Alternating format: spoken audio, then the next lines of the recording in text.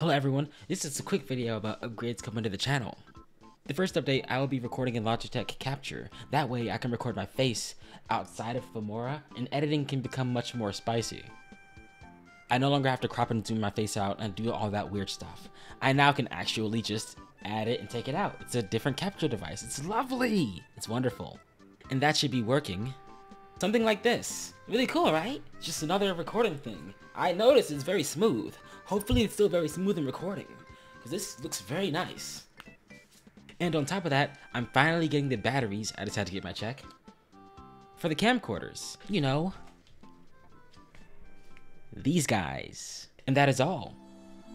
That's the update. Everything's going great. We're cooking over here. Thanks for watching. Hi! I'll take my way out now. Bye. Money's mine. Is in one of the apartments on the second floor. Come and get it. Oh, yeah, lovely.